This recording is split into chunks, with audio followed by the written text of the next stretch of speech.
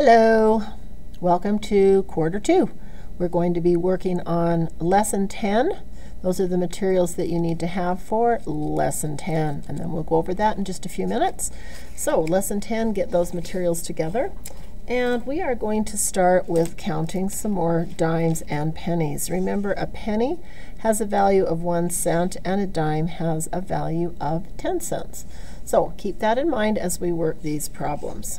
Okay, so we are going to begin by counting out, starting by tens, and you're going to help me, and 10, 20, 30, 40, 50, 60, 70, 80, 90, 100.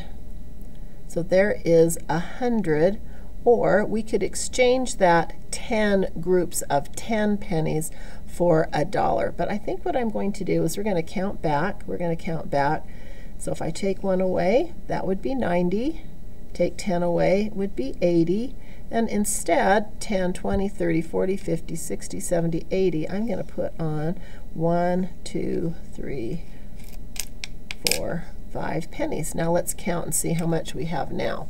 Are we ready? And 10, 20, 30, 40, 50, 60, 70, 80, 81, 82, 83, 84, 85. So we have 85 cents. Now, if I wanted to, I could keep counting up from 85 to 95 if I would like to. So if I put in another dime, if I put in another dime, what would that take us to? So we have 10, 20, 30, 40, 50, 60, 70, 80, 81, 82, 83, 84, 85, and now I have to go up 10 cents. What would that do for me if I went up 10 cents? Well, if I went from 85, I would have to count up 10 more. And what would that give you? Say it out loud. If you said 95, congratulations. So we're going to be at 95 and continue, continue counting. 95, 96, 97, 98, 99, 100. Now we're at 100. We're going to continue counting. 101, 102, 103, 104. I'm going to move those down. 104, 105. So now I have a value of 105. Let's count that again. 10, 20, 30, 40, 50, 60, 70, 80, 81, 82, 83, 84, 85, counting up 10 to 95, 96, 97, 98, 99, 100, 101, 102, 103, 104, 105.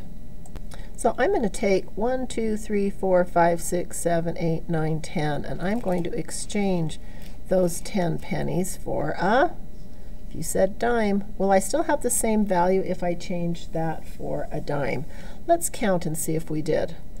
10, 20, 30, 40, 50, 60, 70, 80, 81, 82, 83, 84, 85, 95, going up another 10 would put me at, what did you say? Did you say 105? If you did, congratulations. That's very well done. Okay, we're going to try counting again. One, two, three, four, five, six, seven, eight, 9, 10, 11, 12, 13, 14, 15. So I, what is my value now of these pennies? 15. You are absolutely correct. Could I take these 10 pennies and exchange them for a dime? Well, I could. So I'm going to take 2, 4, 6, 8, 10 of those pennies, and I'm going to exchange them for a dime. Is my value still the same? Do I still have 15? 10, count it with me, 10, 11, 12, 13, 14, 15. Let's go up another 10. So from 15 to Did you say 25? 15 to 25? So let's look at this. I'm going to just switch this to show you that that's exactly what that would be. 10, 20, 21, 22, 23, 24, 25. What if I put in another dime? Did you say 35? Now what? 45? 55? 65? 75? 85? Up another 10. 95. What if I put in another dime? Would that give me 105? 106? 107? 108? 109? 110? 111? 112? 113? 114? 115, 116. So I have 116 cents. Let's count that again.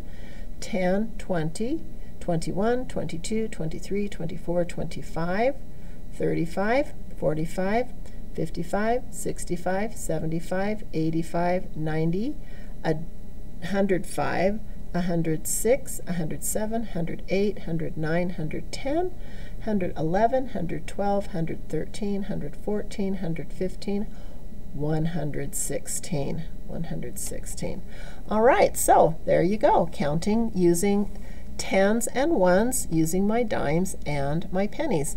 Of course, you can try more of these by yourself if you would like to. All right, so we're going to look at um, Sprint 10. Oops, hang on just a second. There we go. Sprint we have a sprint, and remember on our sprints, you get one minute, one minute to do the sprint, and there will need to be somebody at your home who will time you for one minute. You need to get as far as you can on the sprint. So you do one minute for um, the A side, and then, of course, you're going to do one minute on the B side. So you have two sides to do Remember, you're always going to try and do a little bit better on the second side than you did on the first side. So that will be the first thing that you need to do is the sprints. They are a one minute timing. Remember, you put how many you got correct over here, and you're trying to improve that score the next time.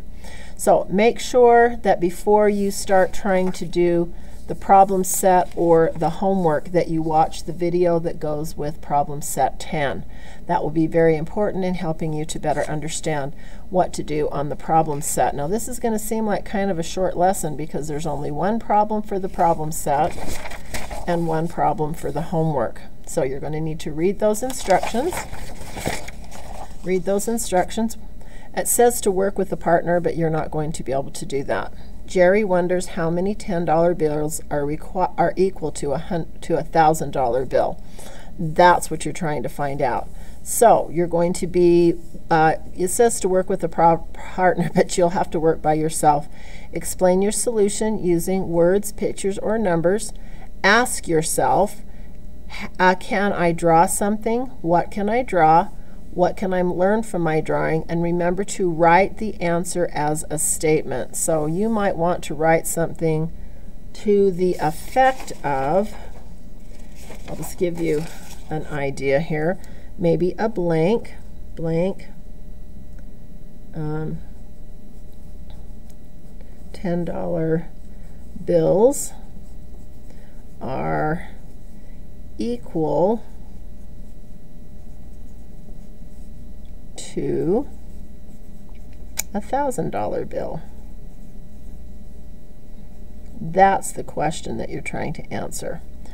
How many $10 bills are equal, whoops, sorry, how many $10 bills are equal to a $1,000 bill? So that's the question that you're trying to answer, and you're going to draw your solution here on the paper.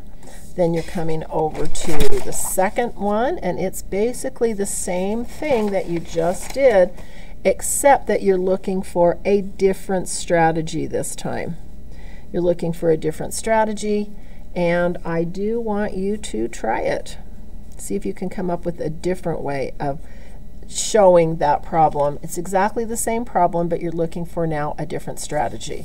And of course, then you need to do your exit ticket. Don't forget your name. And you need to make sure that you send that to your homeroom teacher. She'll be looking for it.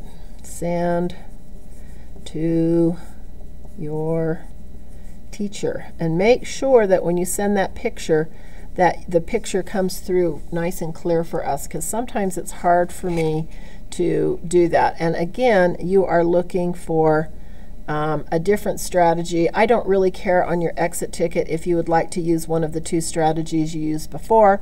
I would be okay with that, but it is saying a different strategy. But I'm going to say that if you liked one of the two strategies that you did, I would be okay with that. So you're going to send that to your teacher. So I know this video was very short today. Make sure you watch the other video from Eureka, and um, I look forward to seeing your exit tickets. See ya.